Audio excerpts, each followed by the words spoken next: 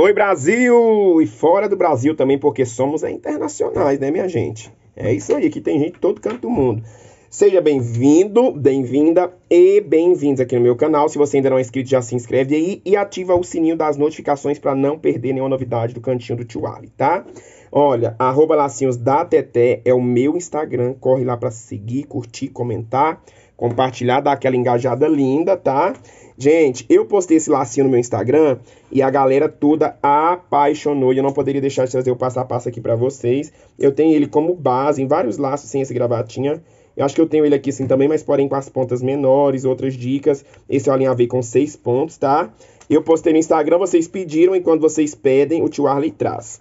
Fiz ele com a meia pérola, tá vendo? Essas meias pérolas é a número 6, eu colei com a T6000, tá? E usei assim o distraz para final de ano, para o dia a dia também. Gente, uma ótima dica, serve tanto para adulto como para criança também. Olha que lindo esse rosa seco rosinha bebê ali na minha mesa, tá lotado desses laços. São 38, 38 laços. Hoje eu tô todo trabalhado no plural, gente. Olha isso. Esse amarelinho. Então vamos ao passo a passo e o material que a gente vai precisar. Vamos lá, meu povo. Volte a sonhar os sonhos de Deus.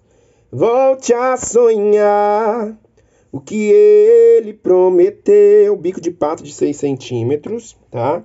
Vou estar usando aqui o gabarito de 10 centímetros pra gente fazer o cruzado. Olha, fita número 9. Essa fita aqui, gente, é da Sanding, tá? Borda dourada. Pra dar mais um luxo ainda nesse laço aqui que eu quero vender ele pro Natal. Olha, um pedaço com 45, da número 9, tá? Aliás, aqui tudo é número 9. Para o gravatinha, um pedaço com 22 centímetros. Um pedacinho com 22. E para as pontas, a gente vai gastar dois pedaços com 15 centímetros, tá? Dois pedaços com 15. Então, no total, a gente vai gastar aqui, ó, 45 com 22 mais 2 de 15 vai dar... Gente, menos de um metro de fita, 97 centímetros para fazer um laço luxuoso desse, hein? Vamos lá, a gente vai selar todas as pontas das fitas, ó. Esse aqui eu vou começar selando, tá? E vamos fazer o seguinte. Com um pedaço de 45, a gente vai fazer o laço cruzado. Eu deixo ultrapassando um pouquinho aqui onde vai passar o alinhavo, tá vendo? Jogo aqui pro lado direito assim e subo com ele reto, ok? Jogo pra cá nessa posição, ó. Eu ultrapasso aqui em cima aqui um pouquinho da fita e venho ultrapassando ela até chegar aqui, ó. Chega aqui, eu viro. Aqui eu vou seguir essa margem da fita de baixo. Olha, trago aqui nessa posição, tá vendo? Assim. O que, que eu faço agora? Eu vou pegar um biquinho de pato, vou colocar aqui para segurar, certo? Ficou nesta posição. Agora, minha gente, o gravatinha... Ó, tá soltando aqui, peraí. Deixa eu acertar aqui. Pronto. O gravatinha, a gente vai fazer o seguinte. A gente vai colocar ponta com ponta. Primeiro a gente sela, né, tio Arley? Sempre que for selar, use a chama azul do isqueiro, tá? Eu dou aquela selada aqui. Aí eu venho aqui na ponta, a gente vai fazer uma marcação. Ó, eu sempre falo vincar, né? Essa parte que a gente vai vincar. Ó, agora, o que, que eu faço? Eu vou ultrapassar um pouquinho aqui a minha fita da marcação. Olha. Tá vendo? Ultrapassei um pouquinho, observe bem. Eu jogo pra cá também, ultrapassando um pouquinho.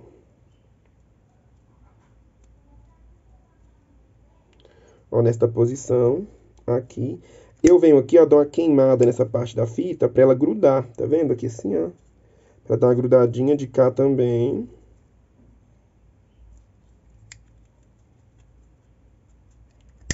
Ó. Assim. Ficou desta forma aqui, Brasil. O que, que eu faço? Eu venho com ele, ó, vou centralizar ele aqui no meio do meu laço. Cruzado, ó, centralizei. Tá vendo a marcação tá no meio? Ele tá centralizadinho aqui, ó. Aí eu venho segurando bem, eu vou prender tudo aqui, ó. Pra não se soltar, tá? Vou pegar aqui outro bico de pato. Vou colocar aqui do outro lado. Ok. Ficou assim, tá? Pronto, deixa bem retinho. Pra não ter perigo do nosso laço ficar torto, certo?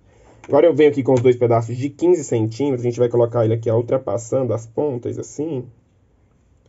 E essa parte aqui a gente vai dar uma selada queimando um pouquinho, ó, pra unir assim as pontinhas. De cá também, ó. Desta forma, certo? Ó, ficou unido. E o que eu faço? Agora eu venho aqui no meu laço, venho aqui por baixo, ó, vou virar só pra vocês verem. Viro aqui, eu vou centralizar esse biquinho aqui, ó. E esse biquinho aqui por trás, aonde vai passar o alinhavo. Bem centralizadinho.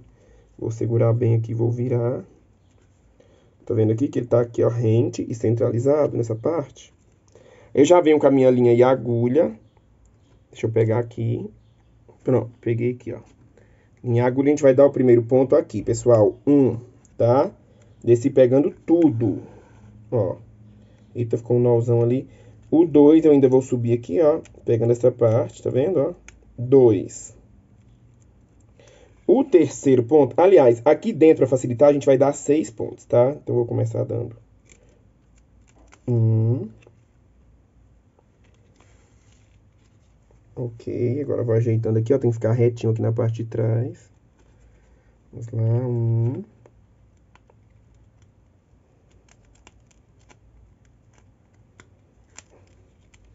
dois. Eita, que tá pegando a minha fita aqui, não pode. Ó. Dois. Três. Não pode ser pontos muito, muito largos aqui dentro. Eu vou tirar esse pique de pato aqui. Pra não ficar atrapalhando. Ó, o quarto.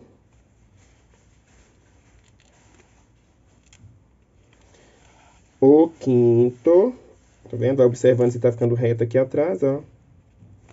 E o sexto, ó, o sexto eu vou subir pegando o biquinho, tá vendo? E pego ainda essa fita aqui, ó. Ó, seis, tá? Aí eu venho aqui, ó, um por fora, dois. Só isso alinhar, tá, gente? Aí eu posso tirar do meu gabarito. Aqui agora, olha, a gente vai organizar o laço a gente vai puxar para franzir. Com jeitinho a gente ajeita a peça, ó. Vai ajeitando a fita também. Como eu alinhavei com seis pontos dentro, gente, e quatro por fora, que foi dois de cá e dois de cá, fica um pouquinho grosseiro, tá? Esse acabamento aqui, porém, fica um franzido bem lindão. Então, a gente vem. Vamos aqui, ó, dar uma duas, três voltinhas tá ótimo. Eu venho aqui, ó, por trás, eu vou dar um arremate. Um rematezinho aqui para segurar bem a minha fita. Ok. Pronto. Aí eu corto a minha linha. Agora a gente vai virar aqui, ó, e a gente vai ajeitar o laço, tá? Vou deixar ele bem certinho. Olha, gente, que mega lindo que fica. O que, que eu faço agora? Eu venho já com o meu biquinho de pato. Vou pegar meu bico de pato. A gente vai passar a cola nesta posição aqui, ó. Esse laço, ele tem lado, tá? Lado direito aqui, ó, do, do apertador pra cá. Eu sempre coloco do lado direito do laço. Vou centralizar aqui. Vendo apertador pro lado direito. Ok. A gente já pode vir com a fitinha number 2. E vamos dar o acabamento. Sacola aqui, tá? Aí eu venho aqui por baixo do meu laço, ó. Ergo aqui, vou centralizar a fita no meio do laço. Agora a gente vai dando acabamento. Joga as abinhas da base para baixo, do laço também. Ó. Grudar aqui. Umas duas voltinhas é o suficiente, certo? Aqui também. Olha, agora aqui eu vou erguer o bico de pato. Passar a cola ali, aliás, primeiro. Ergo o bico de pato e finalizo aqui. Tá bom? Vamos lá, vou cortar aqui, ó. Aí eu venho, dou aquela seladinha e uma queimadinha aqui pra fita grudar aqui já, tá vendo? Agora, pessoal, a gente ergue o bico de pato e passa a cola aqui, ó. ó passa a cola aqui, ergo o meu bico de pato e trago essa pontinha aqui tapando o acabamento. Eu acho esse acabamento aqui perfeito, sempre faço assim. Ó, venho aqui, ó. Passo a minha cola. Ok. Agora pronto, olha, tá certinho o meu laço. O que, que eu já vou fazer? Ele já sai bem arrumadinho. A gente vai vir aqui, ó, nessa posição, vou colocar o laço assim e vou colocar as pontinhas certinho uma com a outra. Visto que uma tá maior, o que, que eu faço? Eu aparo.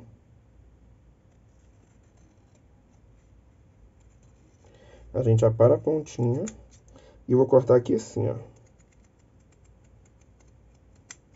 Viu? Ó, cortei aqui. Agora, segurando aqui, eu não solto, ó. Eu vou pegar aqui da pontinha e vou levar pra lá, ó. Certo? Olha, ficou bem certinho. Aqui, com cuidado, a gente vai selar usando a chama azul. Vou usar de cá também. Na pontinha, gente, olha, eu deixei aqui separado a manta de strass. Eu cortei aqui do tamanho da fita número 9, ó, uma carreirinha, tá? Tá vendo? Eu vou vir aqui com a minha cola T6000. Deixa eu mostrar pra vocês. Eu vou passar a cola T6000 aqui nessa posição uma, uma carreirinha só, ó. Passar de cá já também. Você pode pegar o apoio da mesa que é melhor, tá? Tô fazendo assim pra mostrar pra vocês. Aí a gente vem com a mantinha, ó.